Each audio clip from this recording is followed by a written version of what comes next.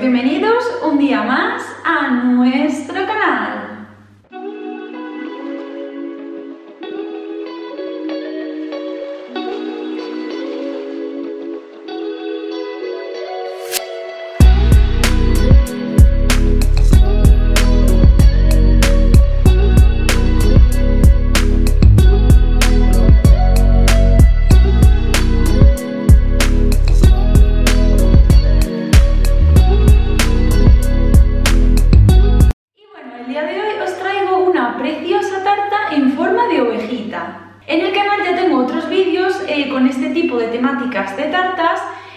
En el que os muestro cómo hacer una tarta unicornio y también una tarta zorrito.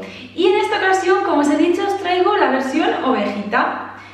En lo personal me encantan estas tartas, ya que quedan súper cookies y súper monas. Y en el vídeo de hoy te voy a mostrar tanto a rellenar, a montar y a cubrir la tarta como a decorarla con esta temática y te voy a dar todos los tips y consejos para que te quede espectacular.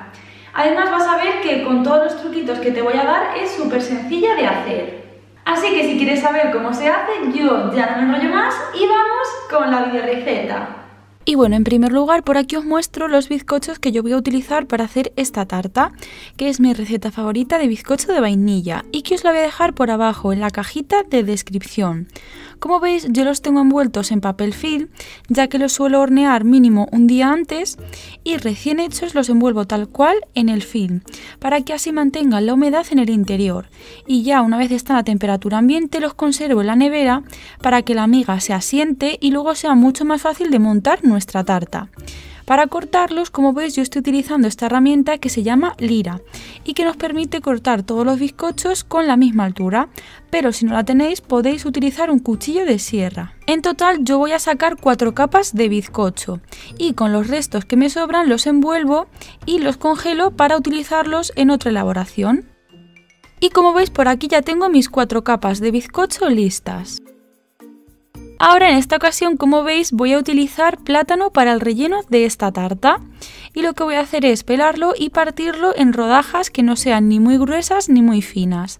Ya os digo que el plátano es totalmente opcional y yo os recomiendo que si la tarta no la vais a consumir en uno o dos días, pues que no la utilicéis, ya que el plátano, bueno, y cualquier fruta, eh, se suelen oxidar rápidamente. Entonces, eh, si no os lo coméis pronto, pues se va a empezar a poner marrón. Y luego, aparte de que ya no está tan bueno, de manera visual ya no es tan apetecible. Una vez lista, la reservo a un lado. Y ahora por aquí os muestro el otro ingrediente que voy a utilizar para el relleno de esta tarta, que es crema pastelera de vainilla. Como veis, tiene una consistencia bastante espesa, ya que eh, está recién sacada de la nevera. Pero para que recupere esa textura tan cremosa que tiene, como si estuviese recién hecha, simplemente como veis con ayuda de unas varillas lo mezclo un poquito hasta recuperar esa textura tan cremosa. En el canal ya tenéis alguna receta que he hecho eh, hace ya tiempo de cómo hacer crema pastelera, pero la que estoy utilizando es una receta nueva que me gusta mucho más. Así que si queréis que os traiga esta receta al canal, dejádmelo por abajo en los comentarios y os la traeré próximamente al canal. Como veis, la textura de la crema pastelera ya ha cambiado y no está tan espesa como al principio, y así la tenemos perfecta para poder rellenar nuestra tarta. Y ya sí que sí, con todo listo, vamos con el montaje de nuestra tarta. Por aquí tengo mi base giratoria a la que le voy a colocar dos trocitos de base antideslizante y justo encima voy a colocar el plato o stand de presentación. En esta ocasión, como yo estoy utilizando un plato. Y le voy a poner un poquito de Swiss Merengue Buttercream de vainilla, que la receta os la voy a dejar por abajo en la cajita de descripción. Y justo encima voy a colocar la primera capa de bizcocho de vainilla. De esta manera la tarta no se va a mover constantemente a la hora de rellenarla y de cubrirla. Como veis yo le estoy poniendo un almíbar y no es el típico almíbar de agua y azúcar a partes iguales, sino que yo utilizo uno a base de leche y leche condensada, ya que me gusta mucho más cómo queda. Para prepararlo simplemente he mezclado la leche junto con la leche condensada, lo he calentado un poquito en el microondas y ya lo tengo listo. Por abajo en la cajita de descripción os voy a dejar todas las cantidades exactas de todo lo que estoy utilizando en el vídeo. Para comenzar a rellenar la tarta, en primer lugar he puesto Swiss Merengue Buttercream de vainilla dentro de una manga pastelera, a la que le he cortado la puntita.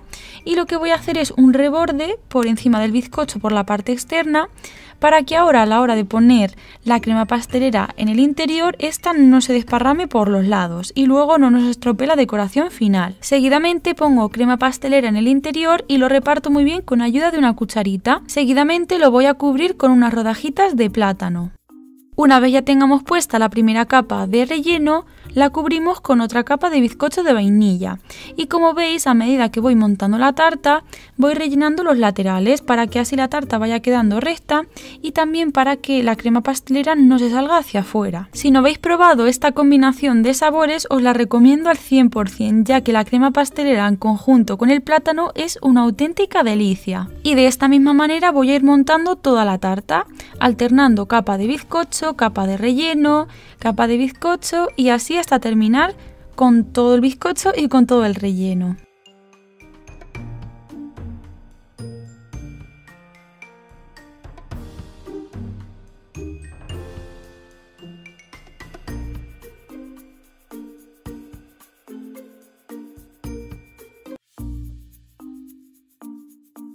En último lugar coloco la última capa de bizcocho de vainilla que ya he almibarado anteriormente boca abajo para que así queden los bordes bien rectos. Y ahora voy a cubrir todos los laterales de la tarta con una fina capa que se llama capa recoge migas de Swiss Merengue Buttercream de vainilla. De esta manera pues vamos a sellar bien todas las miguitas del bizcocho para que luego no nos estropeen la decoración final. No es necesario que esta capa sea muy gruesa, simplemente lo justo para sellar todas las miguitas del bizcocho. Como veis la parte superior todavía no la he cubierto ya que lo voy a hacer más adelante y cuando la tengamos lista nos la llevamos a la nevera o al congelador hasta que esta capa de crema endurezca. En esta ocasión yo lo hago de esta manera para asegurarme de que el relleno del interior de crema pastelera no se va a salir a la hora de cubrir también la parte superior. Una vez esta capa ya haya endurecido le voy a retirar el papel vegetal de la parte superior superior del bizcocho y voy a cubrir también la parte superior con más Swiss merengue buttercream de vainilla. Y como veis, cuando ya cubro la parte superior, cubro también un poquito más todos los laterales. En esta ocasión no es necesario que esta capa quede excesivamente gruesa, ya que luego la vamos a cubrir por completo con la decoración. Ahora por aquí tengo más Swiss Merengue Buttercream de vainilla, pero teñido con un color marroncito muy claro o si tenéis con color piel, ya que vamos a hacer la carita de nuestra ovejita. Para ello, como veis, yo voy a cubrir simplemente la parte donde vamos a poner lo que son los ojitos, la nariz y la boca. No es necesario cubrir la tarta por completo. Eso sí, antes de poner esta capa es necesario que la capa anterior de color blanco esté bien fría y con ayuda de la espátula y de una regla me voy tomando mi tiempo para alisarlo y que quede lo más perfecto posible, como veis en el vídeo. Una vez lo tengamos listo me lo voy a llevar a la nevera hasta que endurezca la crema.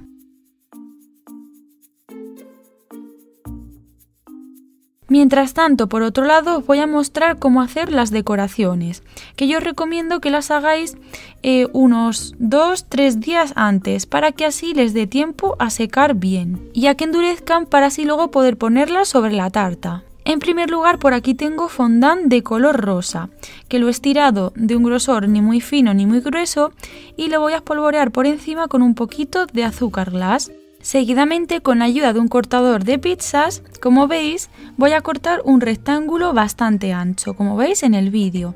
Y partiendo de esto voy a hacer un lacito. Como veis, de vez en cuando yo le voy poniendo un poquito de azúcar glass, para que así no se pegue entre sí el fondant. Como veis, eh, primero calculo un poco dónde va a quedar el centro, luego eh, uno un poquito ambos lados y seguidamente los extremos los junto hacia el centro y los pellizco un poquito para darle un poco de forma y de volumen a nuestro lacito. Por otro lado voy a estirar una tirita eh, que no sea muy ancha como veis y con un poquito de agua voy a pegar todas las piezas y justo en el centro voy a poner esta tira que acabo de hacer que la voy a terminar de pegar por detrás. Como veis, antes de pegarlo todo con agua, yo le he colocado unas hojas de papel que he arrugado un poquito para así darle forma al lazo y que luego pueda secar y quedarse tal cual veis en el vídeo, ya que si no le ponemos nada se va a quedar aplastado y luego no va a quedar con volumen. Ahora vamos a hacer las orejitas de nuestra oveja. Para ello, con fondant rosa del mismo color que hemos hecho el lacito, eh, lo he estirado, lo he espolvoreado con azúcar glass y a mano alzada y a ojo, como veis en el vídeo, le voy a dar forma a las orejitas, tal cual veis en la imagen. Cuando ya tengo una recortada, para que la otra me quede exactamente igual, yo le pongo un poquito de azúcar glass para que no se pegue una pieza a la otra, la coloco encima y lo corto, como veis en el vídeo, y de esta manera ambas me quedan con la misma forma y el mismo tamaño.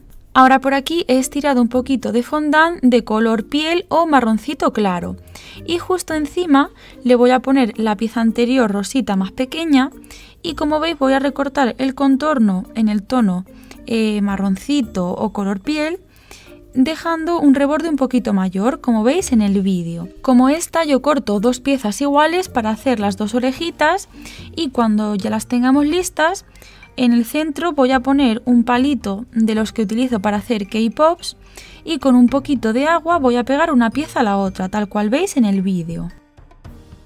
Ahora voy a hacer algunas otras decoraciones para decorar nuestra ovejita. Para ello he estirado un poquito más de fondant del mismo color rosita claro, pero más finito y voy a cortar unos corazones para hacer la nariz, luego unas flores eh, un poquito más grandes y otras un poquito más pequeñas. Como veis yo estoy utilizando cortadores con expulsor que son muy facilitos de utilizar ya que simplemente recortamos la forma y luego sobre una esponjita como la que tengo yo los vamos dejando y simplemente con apretar el botoncito sale solo. Ahora por aquí también tengo fondant de color fucsia que he estirado finito y voy a recortar unos corazones pequeñitos que también voy a utilizar para la decoración. Ahora con fondant del mismo tono que hemos hecho la parte grande de las orejitas, es decir, en este tono color piel o marroncito claro, voy a estirar unos churritos finitos, como veis en el vídeo, y voy a darles esta forma. Y esto va a ser la parte de la boquita nariz de nuestra ovejita de este mismo color, pero en esta ocasión estirando un churrito que sea más grueso por la parte central y más finito por los lados, eh, voy a hacer los ojitos de la ovejita, dándole la forma que veis en el vídeo, aunque ya os digo que la forma de los ojitos podéis darle la que más os guste. De esta manera voy a hacer dos iguales y cuando ya tengamos todas las piezas listas las dejamos secar y que endurezcan por completo. Ahora ya sí, con todas las decoraciones listas y con la tarta también lista, vamos a decorar nuestra preciosa tarta. En primer lugar, como veis, yo coloco los ojitos para así ir guiándome e ir colocando el resto de elementos de la tarta. Luego, en el centro, justo debajo de los ojitos, pongo un corazón que va a ser la nariz y justo debajo la pieza esta que hemos hecho, que sería la parte de la boquita. Ahora por aquí tengo Swiss Merengue Buttercream de vainilla de color blanco, que lo he puesto en una manga pastelera con la boquilla 1M de Wilton. Como veis yo le he puesto un acople ya que luego voy a cambiar esta boquilla por otra. Comienzo haciendo rosetones por la parte superior de la tarta para así ir formando el pelito. Cuando ya tengamos más o menos la parte superior cubierta, voy a comenzar cubriendo también toda la parte de atrás con más rosetones, como veis en el vídeo.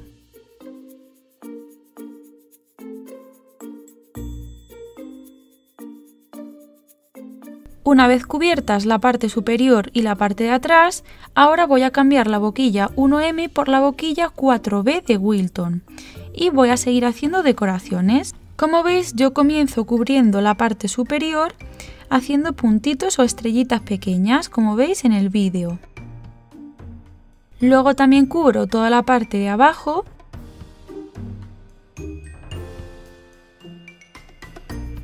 para hacer como si fuese la parte de la barbita o de la cara de la ovejita, eh, como veis primero empiezo a delinear lo que sería la forma y luego lo voy rellenando con esta decoración de puntitos o estrellitas, para que así quede todo bien simétrico y queden ambos lados iguales.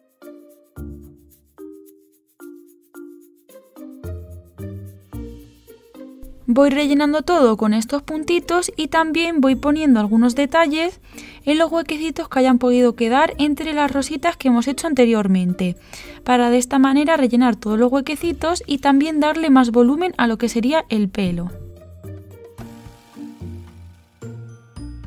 Una vez listo vamos a colocar las orejitas, que como veis yo pongo una a cada lado.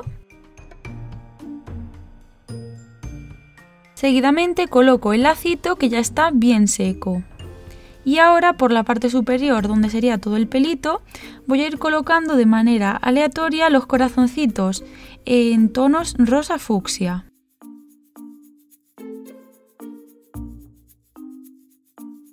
También voy a colocar las florecitas en tono rosa más clarito, unas en la parte de arriba y otras en la parte de abajo. Y luego voy a poner también el resto de las florecitas pequeñitas por la parte de arriba de la tarta. Por último, para terminar de darle ese toque especial a esta tarta, voy a pintar los ojitos y la boquita en color dorado. Para ello yo he mezclado colorante en polvo dorado con un poquito de ron, vodka o alguna bebida así que tengáis que no tenga mucho color. Y con ayuda de un pincelito y mucho cuidado lo voy pintando. La verdad es que este toque a mí me ha encantado ya que cambia por completo el resultado final. Si no queréis pintarlo de dorado y queréis que llame más la atención estos rasgos de la cara, también podéis hacerlos directamente en fondant de color negro. Y bueno, como veis ya tenemos nuestra preciosa tarta lista. La verdad es que estoy enamorada del resultado final.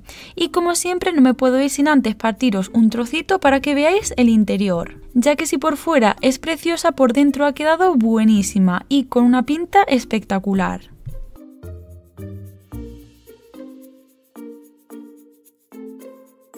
Como veis, el corte de esta tarta habla por sí solo y os prometo que la combinación de la crema pastelera de vainilla con los trocitos de plátano es una auténtica delicia. Y si no lo habéis probado, os recomiendo al 100% que lo hagáis, ya que os va a encantar. Como veis al partir la tarta se siente súper suavecita y os digo que está buenísima. Para conservar esta tarta, si donde vivís hace mucho calor, yo os recomiendo que la guardéis dentro de un recipiente hermético o en una cajita de cartón dentro de la nevera y que cuando la vayáis a comer la saquéis un ratito antes para que así esté a temperatura ambiente.